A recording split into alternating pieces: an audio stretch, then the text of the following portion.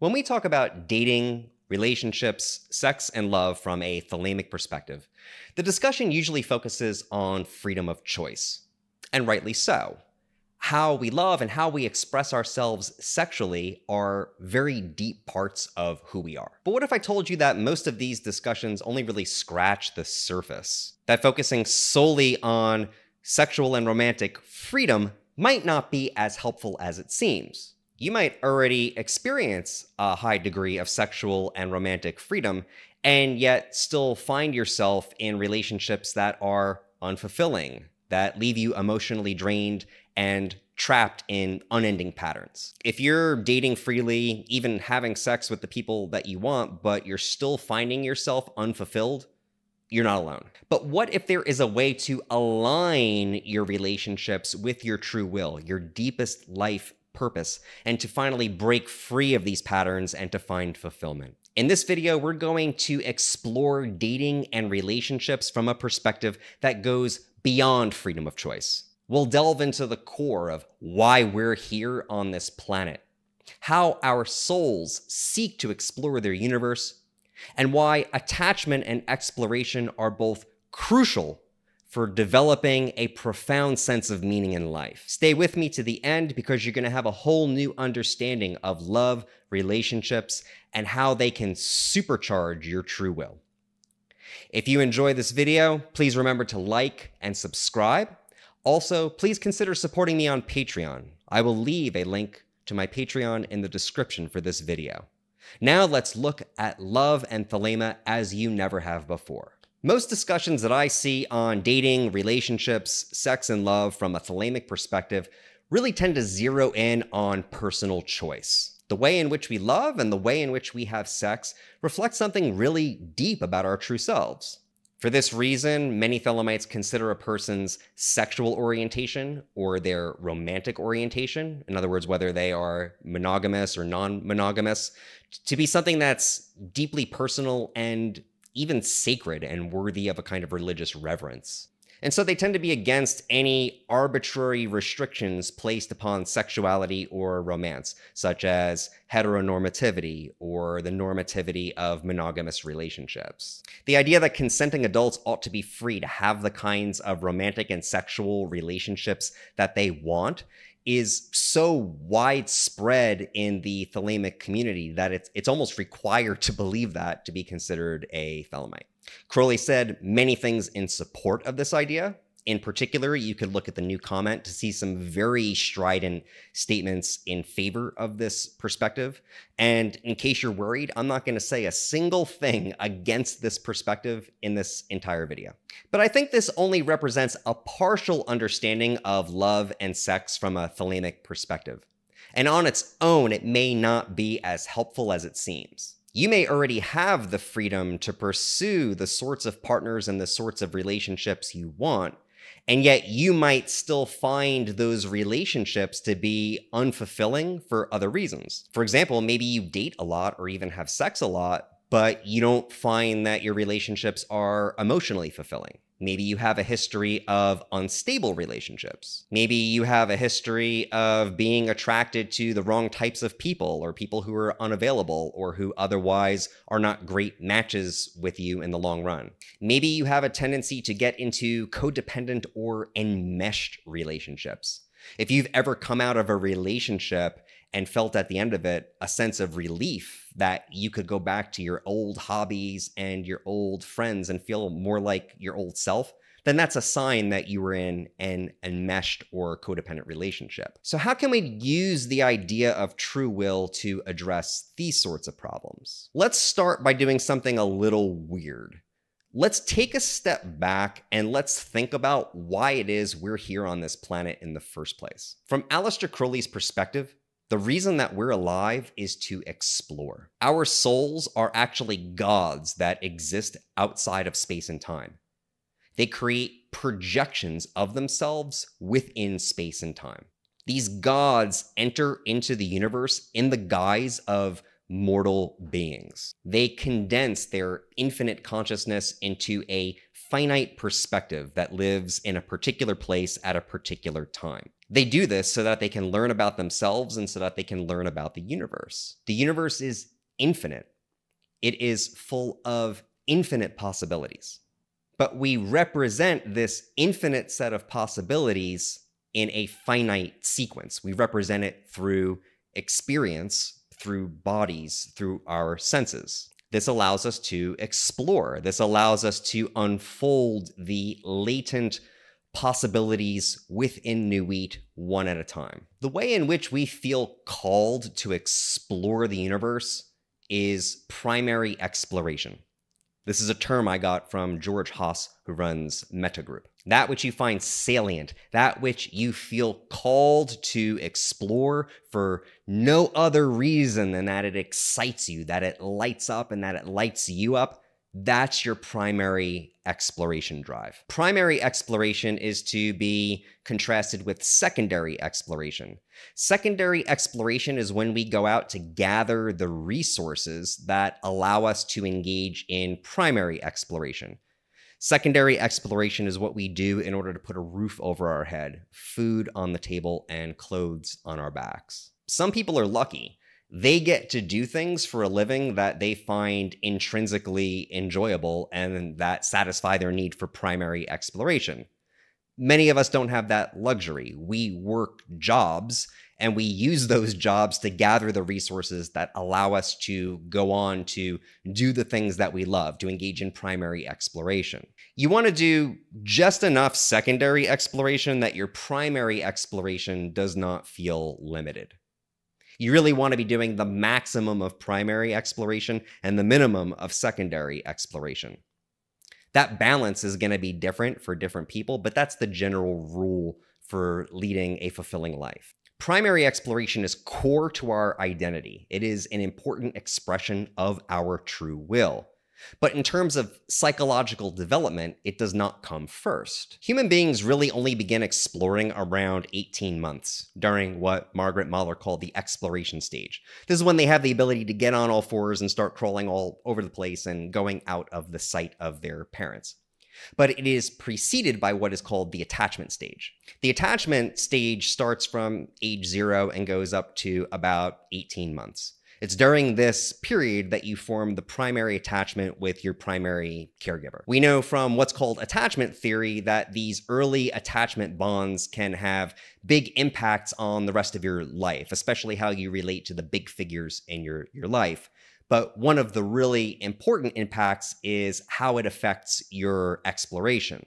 Attachment and exploration are not just simply two stages, they are also two systems within the personality or the mind. Exploration pushes you out into the world to have new experiences, to gather more resources, to learn more facts. Whereas attachment pulls you back in, pulls you out of the world back into proximity with important other people. These two systems exist in a reciprocal relationship with one another. To the extent that we are out there exploring, we tend to be less attached. And to the extent that we are more attached to others, we're not doing as much exploring.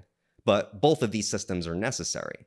The purpose of attachment is to help repair and reduce some of the stress that arises from deep exploration of the world healthy adults tend to move in a very balanced way between exploration and attachment. A lot of relationship and life dissatisfaction stems from imbalances or disturbances between attachment and exploration.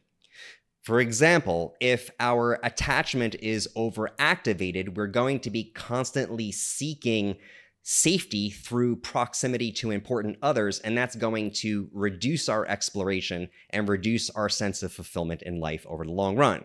Think again of that situation where the relationship ends and there's this feeling of relief because you can go back to doing the activities that you enjoy. That's a sign of an overactive attachment system that has crowded out exploration for some period of time. Alternatively, you can find yourself in relationships with people who don't understand your primary exploration or they outright reject it. And this might lead to concealing your primary exploration from the other person or compartmentalizing or even having a relationship which is ultimately inauthentic. And this will also lead to relationships that feel unfulfilling and aren't able to help you repair that stress from primary exploration. This is a sign of underactive attachment. On the other hand, some people might not engage in much primary exploration at all. They're workaholic. They're constantly leaning into secondary exploration. You can often find this in people who are loners or who are emotionally distant or cut off from themselves. They almost never activate attachment, so they can't avail themselves of any of the rewards that come from having a close bond with others. This means that they have to remain risk averse in everything that they do because they can't risk getting into too much trouble or stress from primary exploration. Both attachment and exploration are functions of will. They're both expressions of our underlying life force. But you cannot find meaning in life through romantic relationships. I think people sometimes read those passages in Crowley where he's talking in such glowing terms about sexual expression and love, and they might get the impression that that's where all the meaning in life is coming from. But it's not. Meaning in life can't come from attachment. Meaning in life actually comes from primary exploration. Attachment can only support it. Attachment is essential to doing your true will because it provides resources for repairing and reducing stress and lowering the risk that comes from deep, deep primary exploration of the universe. Primary exploration and the failures and the bumps and the knocks that you get along the way from that, that's how you learn about your true will. And what you want are attachment bonds that help you maximize the intensity and the depth in which you can engage in primary exploration. So, how do you find a relationship that helps you accomplish this?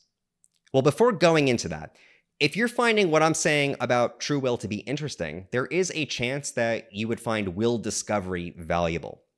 Will discovery is a process that I do one on one with you. I listen to the formative and most transformative stories of your life and I write down the patterns in those stories and across those stories that up until now have probably eluded your notice. And then together, you and I work with those patterns to craft what's called a will statement.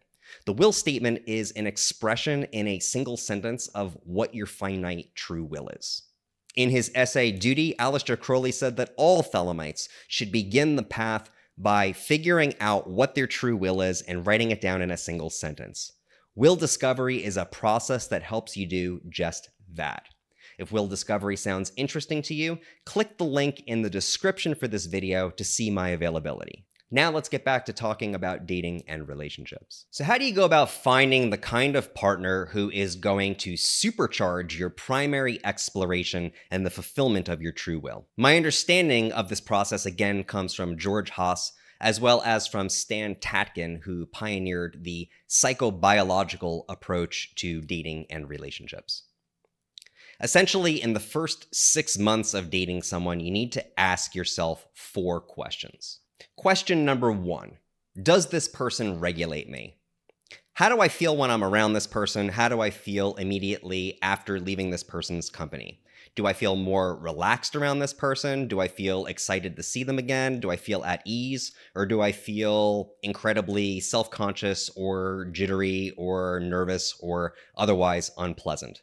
All of that is a function of the extent to which they regulate my nervous system just by their presence. Generally speaking, someone who is good for you is going to make you feel better than you usually do. And they're not going to have to work too hard at it. Their presence is going to accomplish that for you. So that's the first question you want to ask. Does this person regulate me? And if the answer is no, find someone else. Question number two Do you regulate them? Does your presence in and of itself seem to make them feel better?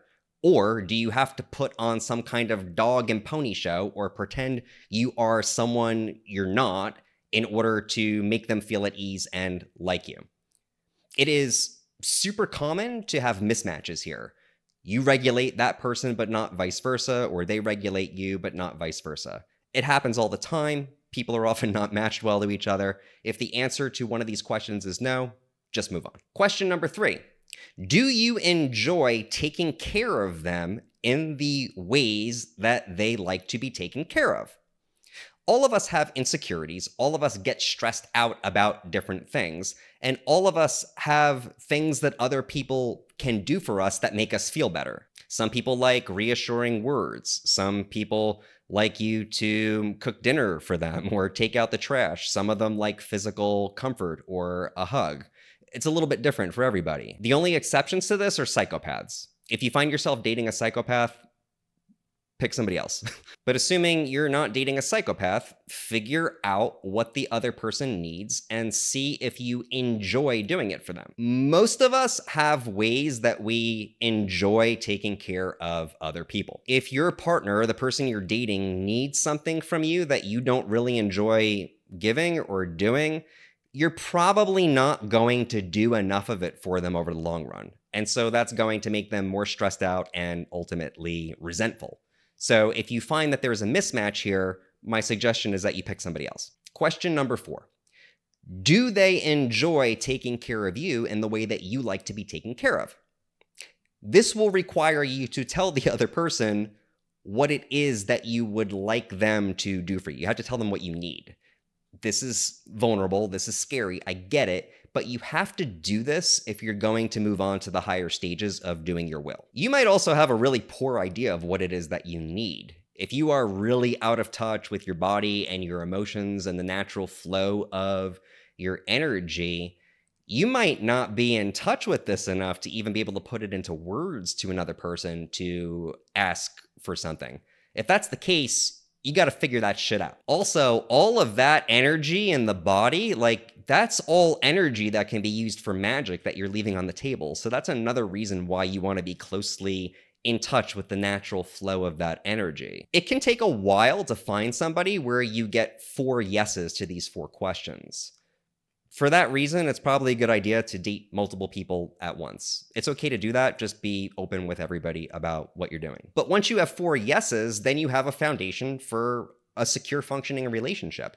That's a relationship where the both of you are actually going to be able to go out, engage in primary exploration, gather experiences, gather resources, gather all kinds of information, and then come back and share that information and repair and soothe the stress and the hard knocks that came about from exploring deeply in the world. The best kind of relationship is going to be one where there's a lot of overlap between your primary explorations. So when the both of you come back to one another, you're going to be really excited to learn about what your partner has experienced and what they learned about the universe. The two explorations are really going to come together and synergize. If you get that, that is gold. You're going to want to seal the deal on that one whatever that means for you. That's what's called a synergistic relationship. That's where the combination of the two people is way bigger than the sum of its parts you're going to be able to not just serve yourselves, but also serve everybody around you, your community, in a way that you would never be able to do if you were just acting alone. You can think of that as the evolutionary edge of romance. It's not mushy. It gives you it gives you an edge on survival and gathering information and creating a picture of the universe. If you really want to supercharge your true will, you're going to want this kind of higher love that I'm talking about. It's not higher in the sense of being like super romantic or emotional. In fact, that kind of romance, more often than not, tends to take away energy from doing your true will, and it tends to be unstable over the long run.